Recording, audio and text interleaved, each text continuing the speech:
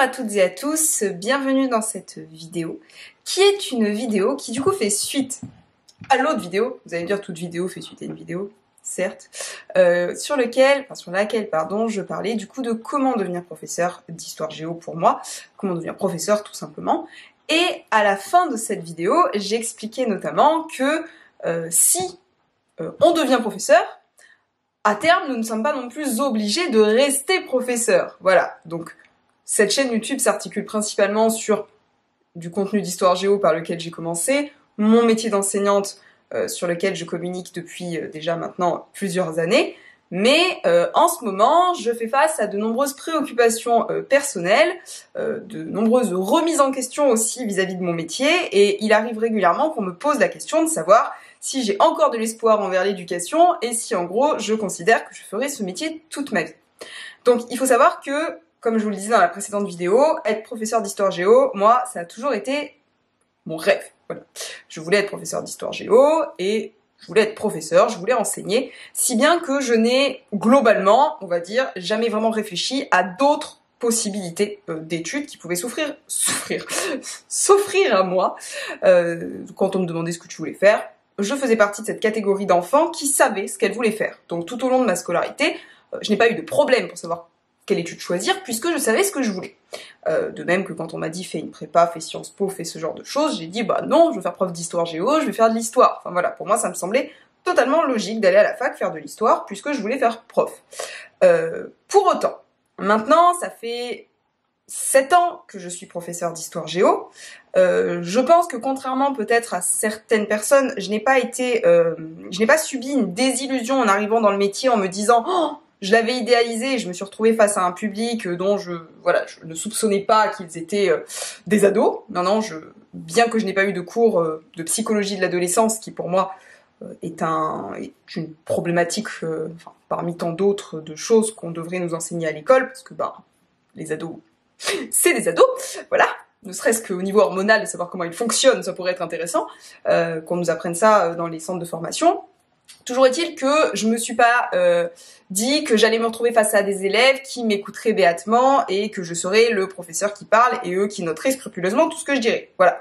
Je n'étais pas optimiste à ce point. Je savais bien que le métier était euh, compliqué, qu'il n'y avait pas forcément un public toujours à l'écoute. Ça, j'en avais conscience. Euh, donc en fait, en réalité, je me suis pas fait un voilà, un schéma préconçu, je suis allée dans ce métier, bon, peut-être que j'aurais dû un peu réfléchir avant, c'est d'autres choses, mais voilà, pour moi ça a toujours été en fait une ligne directrice euh, que j'ai suivie, voilà, j'avais pas envie d'autre chose. Et pour autant, il y a eu des moments un peu dans mes études qui ont été un peu compliqués, où je me suis dit peut-être que je pourrais changer, peut-être que si, peut-être que là, mais je revenais quand même régulièrement toujours vers, bah en fait je veux faire prof d'histoire, Géo, EMC. Donc en fait, en gros, voilà, ça ne changeait pas. Bon, maintenant je vous dis, ça fait 7 ans que j'enseigne, et je commence, euh, je commence à me lasser de mon métier. Voilà, pour être totalement honnête avec vous, euh, il y a plusieurs choses. Il y a l'aspect répétitif, euh, il y a l'aspect euh, parce que voilà, on a beau dire être prof, c'est la planque, c'est trop génial, on y va, on répète son euh, cours toute notre vie et voilà, hop, pou pou, on rentre chez soi. Oui oui, bah écoutez, bah moi répéter le même cours en boucle, ça m'ennuie profondément. Voilà. donc on m'a dit bah écoute, change de niveau, ce que j'ai fait, j'ai fait tous les niveaux du collège. On m'a dit passe au lycée. Alors j'entends bien, effectivement, il y aurait cette possibilité, enfin cette possibilité que je demande une mutation. Après, encore faut-il l'avoir, parce que pour avoir une mutation au lycée, même si mon concours me permet d'enseigner à la fois au collège au lycée, donc j'ai le CAPES, je le rappelle, euh, CAPES comme l'agrégation permettent tous les deux d'enseigner au lycée, hein, c'est pas l'agrégation qui vous assure le lycée et le CAPES qui vous donne le collège, le CAPES, l'agrégation, tous les deux vous permettent d'aller euh, enseigner dans le secondaire, donc collège, lycée, potentiellement même de donner des cours à la fac ou en BTS, mais l'agrégation, en gros, c'est travailler moins pour gagner plus d'argent. Voilà. À terme, certainement que l'agrégation disparaîtra parce que ça coûte cher à l'État. Voilà. Et aujourd'hui, vous avez des certifiés qui sont au lycée, de même que vous avez des agrégés qui sont au collège. Donc, voilà, gardez ça quand même en tête. Euh, en tout cas, je, me suis posé la question effectivement de si jamais j'arrivais à être mutée au lycée, mais mes problématiques enfin, resteront le même. C'est-à-dire que oui, bien sûr, je pourrais éventuellement enseigner par exemple la GGSP, qui est euh, une des spécialités du lycée qui permet de faire de la géopolitique, euh, qui me paraît hyper intéressant et que j'aimerais beaucoup, euh, si je devais aller au lycée, enseigner. je pourrais aussi effectivement avoir de nouveaux programmes, mais je me retrouverai toujours confrontée à un moment donné où en fait, je serai prof. Voilà. Et quand je vous dis je m'ennuie, en fait, je me rends compte que il y a beaucoup de choses qui me plaisent dans mon métier, des choses qui m'agacent, il y a des choses qui ne me plaisent pas, des choses que j'aime, mais parmi ce que j'aime le plus, euh, c'est pas d'enseigner, en fait. La fille, ça fait 4 ans qu'elle vous bassine avec c'est génial d'être prof d'histoire, euh, et là elle vous dit non en fait j'aime pas ça. Non non non non, je, je vais remettre mes mots dans un contexte. J'aime bien enseigner, j'aime j'aime bien l'idée, enfin voilà, de transmettre un savoir, d'apporter une connaissance, voilà, ça me fait plaisir. Mais c'est pas ce que je préfère faire. C'est-à-dire que dans tous les aspects du métier, préparation de cours, correction de cours, faire le cours, ou tout ce qui est gestion autour, en fait, moi, ce que je préfère faire, c'est effectivement créer des projets, travailler en commun, euh, préparer les cours à la limite plus même que les enseigner directement. J'aime beaucoup tout ce qui est relation avec les élèves. Euh, voilà, ça j'aime bien. Voilà, j'aime bien rédiger des comptes rendus administratifs. J'aime beaucoup ce genre de choses. Piloter, coordonner des nouveaux projets, euh, m'occuper de la référencement harcèlement scolaire par exemple, ça m'intéresse. Mais l'aspect purement enseignement, en fait, c'est pas ce que je préfère. Euh, J'adore l'histoire géo, mais je pense que je pourrais enseigner une autre matière. Enfin voilà, ça m'intéresse davantage plus la pédagogie, la didactique, le côté plus éducatif, psychologique, que l'enseignement pur. Et donc là, j'arrive vraiment à un terme où je me dis, bah en fait, le problème c'est que c'est que c'est que c'est que si j'en ai marre d'enseigner, qu'est-ce que je fais Qu'est-ce que je fais Voilà, parce que comme beaucoup de professeurs, je me dis, mais je ne sais faire que ça. Je ne sais faire que ça. Enfin, techniquement, j'ai euh, une licence d'histoire et j'ai un master de sciences de l'éducation. Ah bah oui, ah bah je vais aller loin avec ça. Ah bah oui, c'est sûr. Euh, donc voilà. Donc je me suis retrouvée confrontée à ce problème. Alors là, je vous parle de l'aspect répétitif, mais après d'autres choses. Euh, j'ai de plus en plus de mal avec le bruit en classe, surtout que j'ai des migraines. Et en fait, le, moindre petit bruit de stylo, de bout, enfin, ça m'agace, ça me crispe, ça me fait encore plus mal à la tête. Enfin voilà, et ça m'agace. Euh, je j'en ai marre de me battre pour enseigner. J'en ai marre en fait d'être confrontée à des enfants qui, euh, pas pour tous évidemment, hein, il y en a qui m'écoutent, mais qui pour une partie en fait n'ont pas du tout envie de m'écouter. Euh, voilà, faut être totalement honnête avec eux et je leur en veux pas de ça. Mais voilà, c'est au-delà même du côté, euh, je veux pas être là, je suis pas intéressée par la matière que je peux comprendre, surtout à 13-14 ans. Moi, ce qui m'embête, c'est aussi l'absence de respect. À un moment donné, euh, oh, j'ai l'impression d'être une plante. Hein. Euh, des fois, euh, je, me dis bon, je sais pas, un minimum, je suis là. Enfin, je suis un être humain. Écoute-moi, juste parce que je suis là et que je prends le temps d'être là pour toi. Donc ça, c'est quelque chose. J'en ai un peu marre. Voilà, j'en ai un peu marre. Et du coup, je vous dis, j'avais envie d'autre chose. Enfin, j'ai envie d'autre chose parce que je, n'ai pas réglé mon problème pour le moment. Mais du coup, je me suis dit, mais que vais-je faire d'autre? Voilà, que vais-je faire d'autre? Alors, je dis ça, mais j'avais déjà réfléchi à la question en amont, avant même l'amont ma phrase veut rien dire. Mais il faut savoir que euh, j'ai toujours dit je ferai prof, mais pas toute ma vie. Euh, ce qui peut paraître paradoxal puisque c'est un métier que j'apprécie, euh, mais je me suis toujours dit je ferai surtout prof tant que je ne serais pas lassée du métier, euh, et tant que j'aurais toujours cette passion et cette envie d'enseigner, parce que je ne voulais pas faire peser ma frustration sur les élèves. Euh, et je m'étais dit, moi, plus tard, je serai chef d'établissement. Voilà, parce que moi, je suis, euh, je veux être chef. Voilà, c'est un principe de vie. Je veux être chef depuis l'enfance. Ma sœur vous le dirait. ma grande tendance à donner des ordres aux gens, c'est peut-être peut-être dû à ça, peut-être que ma mère vous le dirait aussi. Euh, quoi qu'il en soit, euh, je voilà, j'aime bien, j'aime bien l'idée d'être chef. Ce que je dis à mes élèves, j'ai une jolie pancarte dans ma salle avec marqué Madame Pfeffer a toujours raison. Voilà, si vous pensez euh, bah, qu'elle a tort, vous référez à, la, règle justement comme quoi elle a raison, parce que bah non, je ne peux pas avoir tort.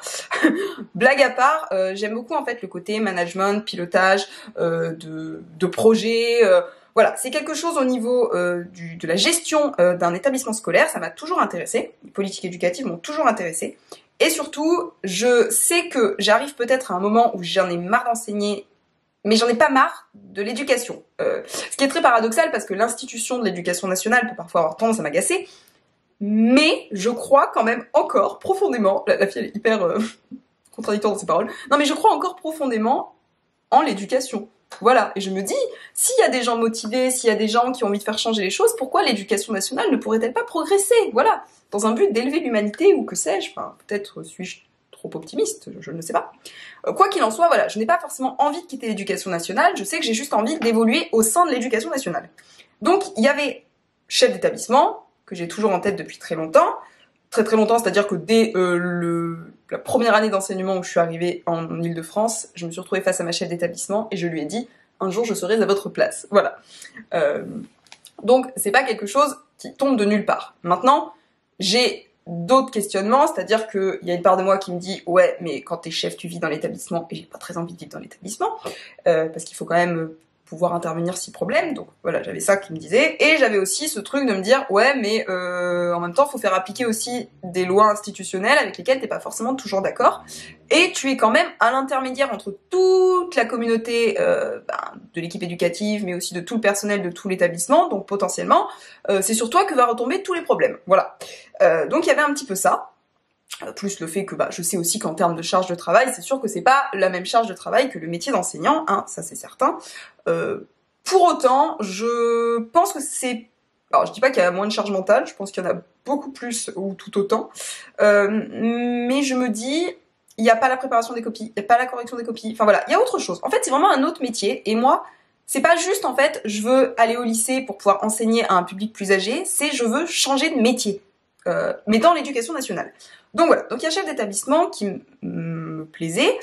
J'avais brièvement respecté, euh, respecté, pensé euh, aux, IPR, les inspecteurs de l'éducation nationale, mais j'ai pas très envie d'être le méchant qui arrive et qui dit il faut pas faire ça, faut faire ça, et qui applique une fois une norme et qui en fait ensuite bah, arrive la fois d'après pour dire non en fait finalement on doit faire ça. Euh, attention je remets pas en question le travail de l'inspecteur, il y a des inspecteurs qui sont très très bien, euh, qui techniquement quand ils font euh, bien leur travail sont là euh, non pas pour te juger et juger ta carrière, mais pour discuter avec toi. Enfin, justement, ça s'appelle plus une inspection, ça s'appelle un rendez-vous de carrière. Donc le but, justement, c'est techniquement de te permettre d'évoluer, en tout cas de réfléchir sur ton projet et sur ce que tu veux faire de ta carrière. Bref, quoi qu'il en soit, inspecteur, j'ai pas en fait, je crois que je suis plus intéressée par le côté tout ce qui est gestion éducative que euh, la didactique et la pédagogie pure. Donc je me suis dit, ouais, bon, inspecteur, euh, bof, bof, bof. Euh, voilà. Mais je ne savais pas ce qu'il y avait comme d'autres possibilités. Et il se trouve que cet été, je discutais avec une amie de ma mère. Ma mère, dis donc, qu'est-ce qu'elle est très utile dans ma vie. Hein, maman, bisous. Et cette amie en question me dit, je suis conseillère mobilité au rectorat. Donc moi, je me penche, je me dis, conseillère mobilité au rectorat? C'est quoi ça? Elle me dit, bah c'est le service de ressources humaines du rectorat. Donc là, genre, grand moment de flottement où je me dis, ah parce qu'on a une ressource humaine? Parce que bon, faut savoir quand même que quand vous êtes enseignant, vous êtes un peu projeté dans le milieu éducatif, mais sans connaître forcément très bien le système éducatif, voire sans le connaître du tout, et vous apprenez un petit peu tout sur le tas. Voilà, notamment les acronymes, vous allez voir, on est plein d'acronymes. Ah, ça on les adore, les acronymes. Euh, et donc, je découvre qu'il y a un service de ressources humaines, donc je me rends auprès de la secrétaire de mon établissement et je lui dis je veux parler à, cette dame, voilà, de mon académie. Euh, donc déjà elle me dit je peux te passer le lien de la personne qui suit ton dossier. Donc là je me dis comment ça? Quelqu'un suit mon dossier? Mais qui est cette personne? Mais pourquoi n'étais-je pas au courant? Donc bref, elle me passe un mail, j'envoie un mail qui me reconduit un autre mail, qui me reconduit un autre mail, qui me reconduit un autre mail, parce que bon, si c'était simple, vous le savez, ce serait trop facile. Euh, donc, je finis par recevoir parmi tous les mails l'un qui me dit vous devez aller sur euh, le euh, service proxy RH de proxy. Service RH de proximité, ou proxy, je ne sais plus comment ça s'appelle, le truc qui apparaît sur votre écran. Et en gros, vous allez sur le portail Ariane, ça vous conduit dans ce service, vous cliquez sur proxy RH, et à ce moment-là, vous pouvez avoir un rendez-vous avec la conseillère ou conseiller mobilité de carrière de votre académie. Donc là, grand moment où je me dis comment ça, mon Dieu, mais tout un monde s'ouvre à, moi. Euh, donc je prends rendez-vous avec cette personne, qui est une dame dans mon académie. Euh, donc il y avait plusieurs types de rendez-vous. Soit elle me proposait d'aller au rectorat euh, de, de l'académie, soit elle me proposait un appel téléphonique, soit un appel en visio. Bon, n'ayant pas envie de faire 50 km, je dis en visio c'est très bien. Et je prends rendez-vous, donc c'était à peu près un mois et demi après. Et euh, nous avons eu une très longue conversation, d'à peu près une heure et demie. Euh, j'ai beaucoup apprécié. J'ai trouvé quelqu'un qui était très à l'écoute, ce qui, ce qui est, alors je vais pas dire ce qui est rare, il y a des gens qui sont très à l'écoute. Mais au sein de l'éducation nationale, euh, je ne dis pas qu'il n'y a pas de gens à l'écoute encore une fois, mais je trouve quand même que nos interlocuteurs bah, sont surtout très absents. Enfin, je vraiment, vous voyez, je, il y a plein de choses en fait qu'on méconnaît euh, quand on est enseignant ou quand on est en poste, euh, notamment le fait que via notamment euh, votre MGEN, donc la MGEN c'est la sécurité sociale enseignante, vous pouvez avoir accès là-bas euh, à certains médecins, à des psychologues aussi qui peuvent vous aider si jamais vous en avez besoin. Et ça aussi, c'est des choses que j'ai découvert. Euh, genre, vous n'avancez pas de frais. J'étais là, ah bon, ok, très bien. Et donc, vous avez aussi ce service du coup des ressources humaines. Donc, la dame en question m'explique que effectivement, aujourd'hui, euh, on se rend compte que le métier d'enseignant, grande surprise, ne fait plus rêver. Voilà, ne fait plus rêver. Elle m'a dit le taux de démission a été multiplié par 5 ces dix dernières années. Par 5 je sais pas si vous imaginez ce que ça correspond. Donc en gros, elle me dit il y a à peu près 2500 démissions par an avec de jeunes enseignants qui en fait arrivent dans le métier et repartent. Euh, ce qui du coup est un peu inquiétant parce que enfin, c'était censé être le plus beau métier du monde, celui dont on ne partait jamais, on devenait fonctionnaire et c'était la planque et on ne partait plus. Bon bah visiblement la planque en question ne fait plus rêver, voilà, que ce soit en termes de rémunération ou en termes de conditions de travail. Donc déjà, euh, l'État réfléchit en ce moment à revaloriser le métier, ce qui explique pourquoi aujourd'hui il y a eu des augmentations de salaire, notamment sur les bas euh, échelons, afin justement bah, de revaloriser. Alors, problématique étant bien sûr, parce qu'il faut toujours qu'il y ait une problématique, euh, bah, que surtout on revalorise les entrées de carrière, ce qui fait que certains entrées de carrière se retrouvent presque avec des gens qui sont expérimentés, qui eux enfin, ont le même niveau de salaire. Alors bon, voilà, l'égalité encore une fois, on pourrait la revoir. Malheureusement, on sait très bien que tout ce qui concerne les finances, bah, on n'est jamais tous d'accord, c'est toujours un peu compliqué. Bon, il y a toujours des progrès à faire, ça c'est certain. Bon, quoi qu'il en soit, elle me dit, voilà, il y a un taux d'émission qui est très important, et euh, ce qui fait que souvent, quand des professeurs veulent partir ou changer de métier, on les retient. On dit nécessité de service, vous n'avez pas le droit de quitter votre poste. Mais, astuce, chers amis, Enfin, je ne vous conseille pas de faire ça, mais bon, en même temps, d'un autre côté, si vous êtes bloqué, nous n'avons pas le choix. Euh, le risque qu'il y a, et ce que beaucoup d'enseignants font dans ce cas-là, si on leur refuse un départ ou un poste en détachement, c'est de se mettre en arrêt maladie.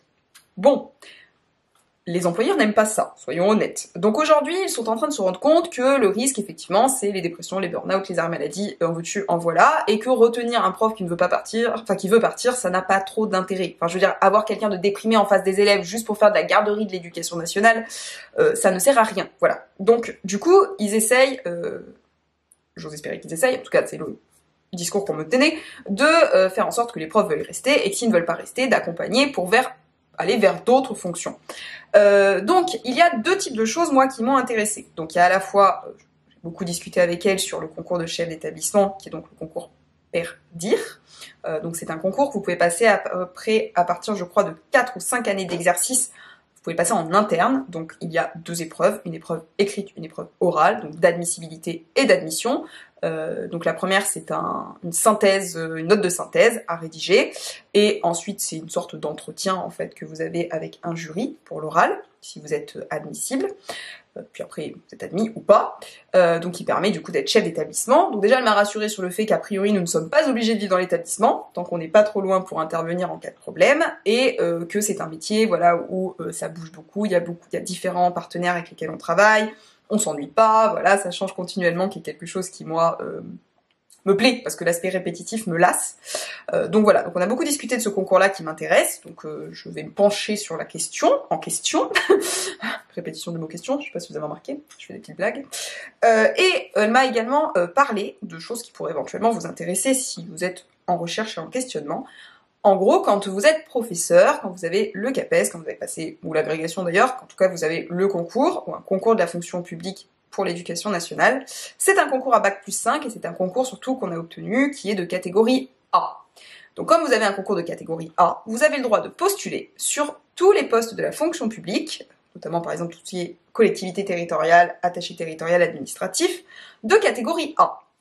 Pour cela, vous devez vous rendre sur le site Choisir la fonction publique sur nos offres d'emploi et vous avez plusieurs critères qui s'offrent à vous avec la possibilité d'entrer le domaine qui vous intéresse, culture, patrimoine, environnement, communication, qu'en sais-je, tout ce que vous voulez. Également euh, la catégorie, donc ouvert aux contractuels et aux titulaires, catégorie A, B, C ou catégorie A+. Vous avez également la localisation, le secteur euh, où vous pouvez euh, eh exercer et où vous avez envie d'exercer. Et ensuite, vous allez avoir une liste de postes qui va s'ouvrir à vous, sur lesquels vous pouvez candidater.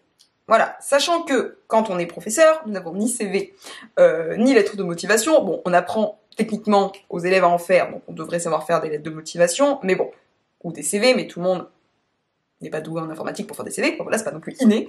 Euh, elle, euh, enfin en tout cas le conseiller ou la conseillère peut aider à faire des CV, peut aider à préparer des lettres, euh, peut appuyer aussi votre dossier si jamais euh, vous voulez postuler sur un poste et qu'on dit, enfin le rectorat bloque en disant non, nécessité de service, on garde le prof, elle peut aider aussi ou il peut aider à faire en sorte que le dossier passe et soit accepté. Donc voilà, ça peut être une démarche que vous pouvez envisager si jamais le métier ne vous intéresse plus d'enseignant, sachez qu'on peut postuler sur tous les postes de catégorie A de la fonction publique en tant que fonctionnaire de catégorie A. Et ce sont des postes qui sont euh, en détachement, c'est-à-dire qu'en fait, vous ne perdez pas le bénéfice de votre concours, vous restez enseignant, euh, vous êtes détaché sur un autre poste, alors vous perdez votre poste dans l'établissement où vous êtes, mais c'est-à-dire que si vous voulez redevenir enseignant, il faudra revenir au mouvement ensuite euh, intra, au sein de votre académie, mais vous ne perdez pas du coup le poste d'enseignant. Par contre, elle m'a expliqué qu'à l'issue de 5 ans, si jamais vous êtes pendant 5 ans dans une collectivité territoriale par exemple, pour gérer des projets culturels par exemple, euh, ils vous demanderont de choisir en gros entre ce poste-là et votre métier d'enseignant, et à ce moment-là, vous perdrez le bénéfice du coup du CAPES. Mais bon, 5 ans c'est long, vous avez le temps de changer d'avis aussi, et éventuellement de revenir dans l'enseignement si ça ne vous correspond pas.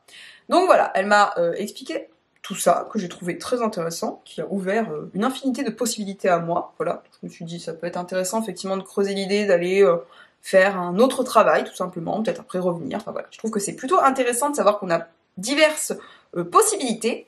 Après, évidemment, il y a toujours la possibilité de démissionner. il y a la possibilité de demander une disponibilité. Alors, bon, la plupart de mes collègues qui le font la demandent depuis 6, 7, 8 ans et elle n'est pas accordée pour nécessité de service et besoin d'enseignants. Euh, disponibilité, ça voudrait dire que vous prenez par exemple une année pour faire autre chose et vous êtes, euh, vous perdez pas votre poste, je crois. Euh, sinon, vous avez donc, je vous disais, la possibilité aussi de négocier, même si je vais mettre des pincettes à ça, des ruptures conventionnelles, sachant qu'elles sont très rarement accordées puisqu'encore une fois, ils ont besoin de profs, donc ils essaient de nous garder.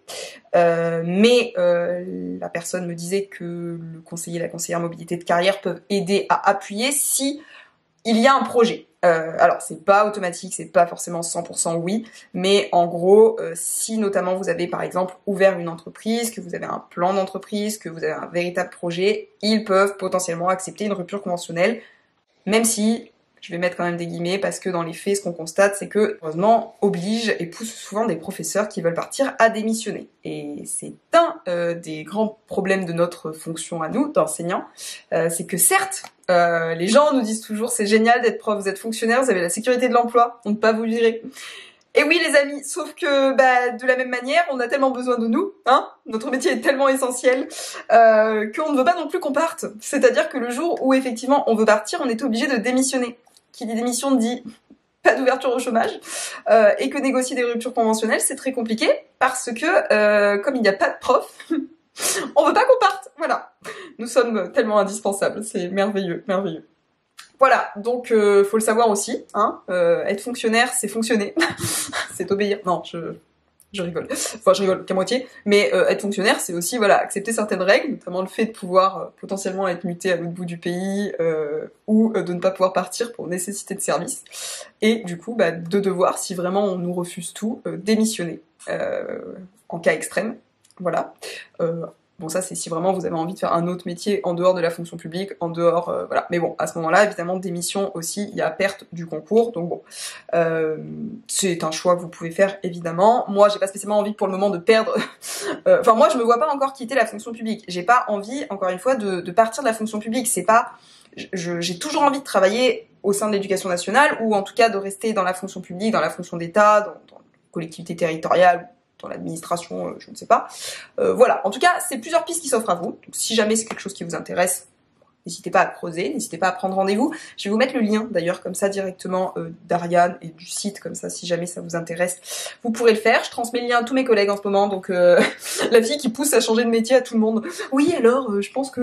Non mais je me dis ça peut être intéressant, et ne serait-ce que pour avoir un échange avec une personne, parce que franchement, moi j'ai eu l'impression d'avoir une thérapie avec ma psychologue. C'était trop bien, j'aime bien les gens qui m'écoutent parler. Vous avez remarqué, je suis un peu bavarde. Donc voilà, je trouve que ça peut être très intéressant, et en tant que prof, euh, souvent, en fait, on a vraiment l'impression qu'en dehors de fait d'enseignant, on ne sait rien faire. Alors qu'en fait, sachez que être prof, c'est pas juste enseigner. Je pense que vous le savez, vous l'avez remarqué. Euh, c'est une multiplicité de compétences et de capacités que vous avez acquis et que vous allez acquérir au cours du coup de vos années euh, d'enseignement. Euh, voilà, vous savez travailler en équipe, vous savez gérer des projets, vous savez remplir des documents euh, mystérieux, vous savez faire des réunions, vous savez euh, toutes les compétences en fait que vous faites travailler avec vos élèves, récupérez-les. C'est ça en fait que vous faites au quotidien. Vous êtes un être polyvalent qui sait s'adapter à plein de situations de terrain quand même. Donc en fait, on en a plein des capacités. voilà, on en a plein et on a plein de métiers qu'on ignore et on a plein de choses qu'on ignore qu'on peut faire. Donc n'hésitez pas, si jamais c'est vraiment quelque chose euh, qui vous intéresse, si jamais vous vous interrogez sur l'avenir de votre métier, bah, n'hésitez pas à contacter cette personne euh, pour en discuter, voilà, pour faire un bilan un petit peu. Euh, ça peut toujours être intéressant. En tout cas, moi, je trouvais ça ultra intéressant. Je vais continuer à m'intéresser, enfin m'interroger sur cette question pour savoir vraiment ce que j'ai envie de faire. Si j'ai envie de faire un boulot un petit peu tranquille pour souffler, juste prendre un petit peu de temps pour moi, me consacrer plus à l'écriture par exemple ou à d'autres projets, voilà, en étant plus sur quelque chose dans une collectivité tranquille, tout en bougeant un peu, parce que moi j'ai besoin quand même de faire des choses, si c'est juste euh, être sur l'ordinateur et taper sur des trucs, ça va m'énerver. Pas taper sur des trucs, taper sur le clavier. Euh, ou si euh, j'ai envie de prendre un peu plus de, responsabilité, d'aller euh, vers, vers les concours de, la direction, voilà, qui, qui malgré tout et toutes mes réticences ou mes questionnements est toujours quelque chose qui revient de manière régulière chez moi, donc je me dis peut-être que c'est un chemin vers lequel je dois me rendre, je ne sais pas. Écoutez, je, vais y réfléchir parce qu'il faut évidemment s'inscrire au concours pour pouvoir le passer, c'est mieux. Euh, voilà, et eh bien écoutez, sur ce, j'en ai terminé avec cette vidéo. J'espère en tout cas qu'elle vous aura intéressé, j'espère que vous avez appris des choses. Si vous avez des questions, bien sûr, posez-les en commentaire ou sur mes comptes Instagram. Comme toujours, je réponds aux besoins. Oh, peut-être pas toujours dans l'immédiat, inutile de m'envoyer ensuite des messages me disant je vous ai envoyé un message. Euh, je sais, mais j'ai aussi d'une vie. Alors des fois, il est vrai que je ne réponds pas dans la minute. Voilà, laissez-moi un petit peu de temps. Merci beaucoup, je gère beaucoup de choses en même temps. Voilà, sur ce, je vous remercie pour votre écoute et puis je vous dis à très bientôt pour de nouvelles vidéos.